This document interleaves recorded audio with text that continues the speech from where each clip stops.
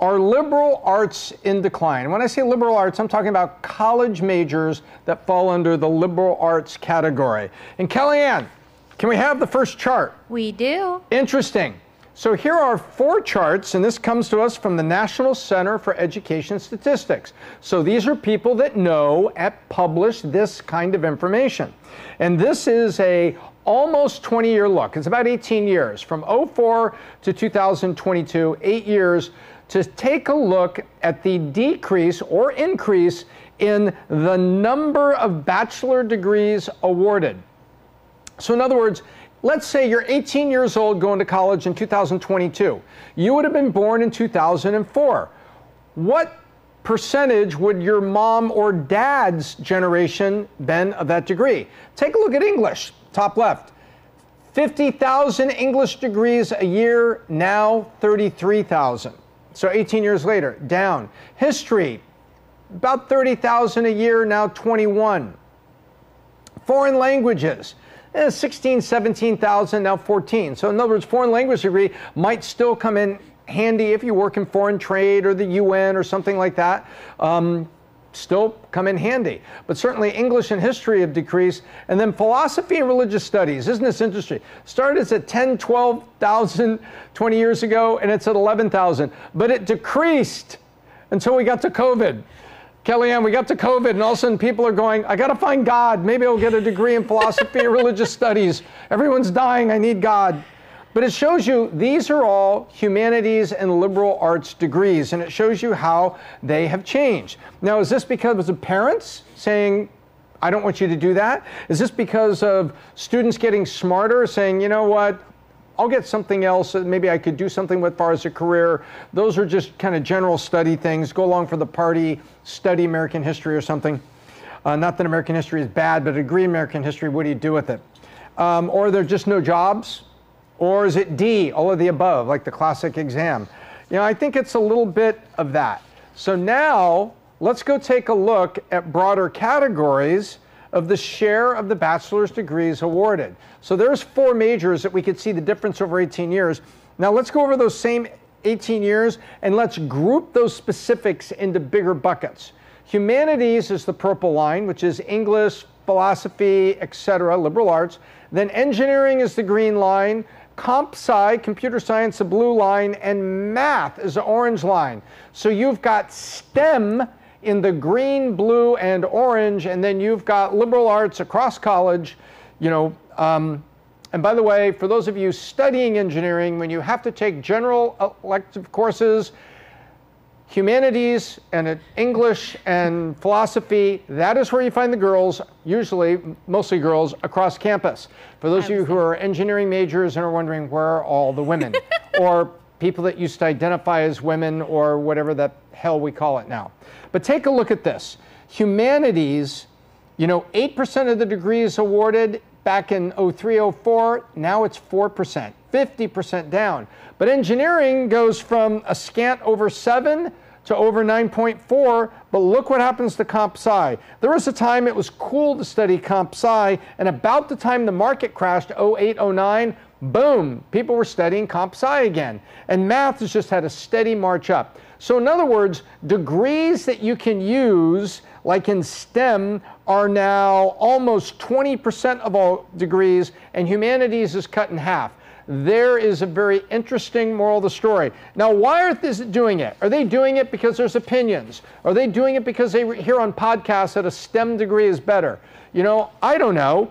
Maybe they're, are they doing it, Kellyanne, because of the ability to find jobs and how much those jobs pay. What do you think? Possibly. Possibly. Let's go to the next chart and unlock the answer.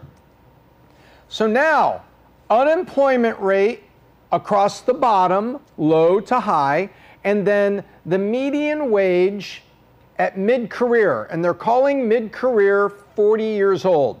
So 22, 25, 22 to 20, excuse me, 21 excuse me, 18 to 22 is where most people go to college. 22 to 25, you, you're locked into your first job, and then you go to 45 and 40, and then another 25 years to 65. So give or take 40. as I'm trying to do math in my head. Boy, I need more volt. this is mid career. So, mid career, let's look up at the top. Engineering degrees, $120,000 a year, and then you look at the bottom, 3% unemployment. Interesting. Let's look at fine arts way out there. fine arts, $60,000, $62,000 a year, 12% unemployment rate. Fine arts lives in the humanities line. Why did the humanities line go down? It may have been parents giving encouragement. It also may have been students saying, I can't make jack with that degree. And there's a lot of people competing for very few jobs. In other words, there's a high unemployment rate in that. Kellyanne, what do you think of this? Not too long ago, you walked the halls of college and stepped out into other things. So, funny story I was a double major in English and theology with a minor in art history. So, my degrees, uh, this could have been me. So, in other words, you were studying to work on a nuclear sub. Yes. Absolutely Aha. not. Uh, you don't want me on your nuclear sub. But um, thank God this isn't me because now I work for a media company. I've been blessed and lucky enough that I get to use my uh, knowledge that I learned in college for this job specifically. Um, but I feel bad for all my classmates that were in my classes with me, majoring in history and art and uh, theology. Like, it, we're all the way at the bottom here. Yep. So you joined a growing media company and you're getting high-end skills. I would argue you're probably using your English skills for, and a degree in that that direction, but the rest of the stuff not so much. So you are living proof that if you get a degree in this to make a living, sometimes you have to go work in that. And there you have it, which I find is very interesting. The other thing is, why is it important to pick a major where you can actually get paid. Interesting. What kind of student loans you have? I currently have a, around probably over now $30,000 in debt left. So that's a car. You still have a car left. And oh, wait, wait, wait. You were telling me you just um, Plus my here car. in the United States, October 2023, they yes. just turned your payments back on. They turned they turned off the deferred payments, so now I have to start making my uh, student loan payments again. Super fun. Interesting. Yeah. So in other words, what has happened to the cost of education? We've talked about this. Pat's talked about it on the PBD podcast, but I found a chart that's got the exact stats we can bring up. So bring up this last chart.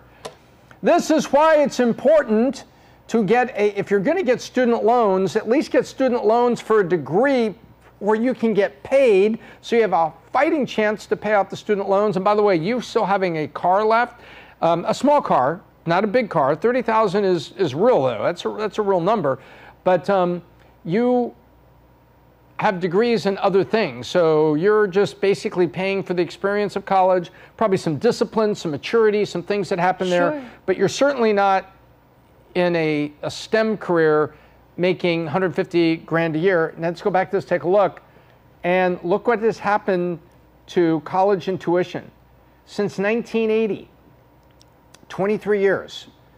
So let's go back to that same thing. Um, excuse me, um, we are we are sitting here 43 years. Yep. So a full full blown 43 years. And inflation on education 1246 percent. Books they give you they give you a deal on books. They're only up 949 percent, but overall inflation, the U.S. Um, Consumer Price Index, 285 percent. So in other words Tuition has gone up almost five times the rate of inflation, which means the price of getting that English degree and having the wrong degree that you leveraged by getting student loans is heavy. Yeah. So there you have it. There's the stats. I don't make them up, I just comment on them. That's not an opinion, I'm just showing you what's there. You may not like it. We got some chats here. People seem to think that, oh, I got a degree in history and I did just fine. Good for you. Maybe you took a degree in poli sci or history and then studied the else for the LSAT and got into law school. Uh, history and poli sci are ways to get into law school. But law school is an advanced degree for an advanced education, for an advanced profession that makes you more than 60 grand a year if you just had a poli sci degree and you're out there trying to figure out life. So I'm not condemning anybody. I'm just saying, look at the facts, America. Would you send your kids? And I have a daughter right now that is signing on the line, and I'm sending in the check with that line mm-hmm. to you know her college applications. And everything she's looking for is STEM. Yeah. Not, and she doesn't want to be an electrical engineer, but there's other forms of STEM. There's business statistics, there's business management, which is not in STEM, but having business statistics, advanced statistics, that's one of her interests. That's important. I'll pay for that because that is advanced skills go along with a business management degree. Boom, start your own company, be armed with stuff. It's just so practical. Uh, and that's where I see it. But she doesn't see it as being sentenced. She thinks it's pretty cool. She's very interested in, in business stats, specifically sports stats. She thinks very interesting in applying Moneyball to many different sports and things of life. So here she's got an interest in it. I'm willing to pay for that. Good for her. But if she was just going to study American history for the hell of it, you know, I, I got to sit back and say, you know, you know, why, why do we do this? And just, you know, have a defined plan. Because, Dad, I want to be a corporate attorney. I want to be a contract attorney. Oh, so you want to do that and then go to law school? Okay, well, let's talk about that. Let's get on the track. But kind of, kind of stark. Yeah. What, what's out there? The numbers are real. So, and by the way, you can go Google it and search for those very same stats, and you'll you'll see them everywhere that I just represented. And uh, we're presenting you the truth.